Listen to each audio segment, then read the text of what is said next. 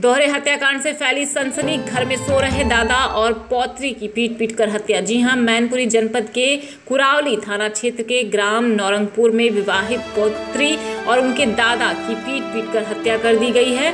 दोनों के सौ घर के आँगन में पड़े मिले। घटना की जानकारी मिलते ही गाँव में हड़कम मच गया है। खबर पाकर पुलिस के अधिकारी मौके पर पहुँच गए। दोहरे हत्याकांड से इलाके में दहशत फैल गई है।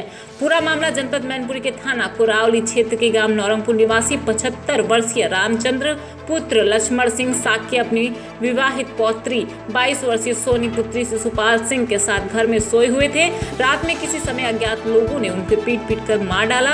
तड़के के आँगन में पास बने चूल्हे के पास दादा रामचंद्र का शव पड़ा मिला। वहीं आँगन के पास पड़ी चारपाई पर सोनी का अर्धनग्न शव पाया गया। सूचना के बाद मौके पर पहुँची पुलिस ने जाँच पड़ताल में जुटी हुई है।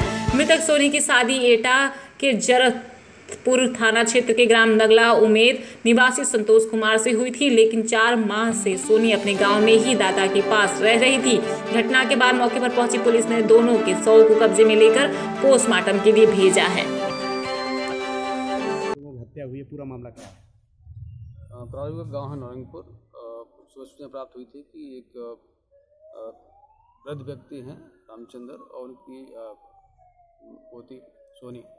उनकी जो है हत्या कर दी गई है। इस सूचना हम लोग पहुँची थे। और जिस मकान में हत्या हुई है, वो चारों तरफ़ दुकान खुला हुआ है। बाहर आँगन में बाबा सो रहे थे और बरामदे में उनकी नातिन सो रही थी।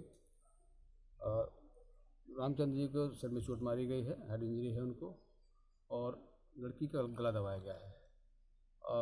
यहाँ पर पंचायत में प्रशासन कार्रवाई चल रही है। और एक चाचा आ गए हैं लड़की के उससे तही लेकर हम अग्रिम कार्रवाई करेंगे। सर प्राथमिक अगर देखा जाए तो हत्या की क्या वजह रही है अब तक?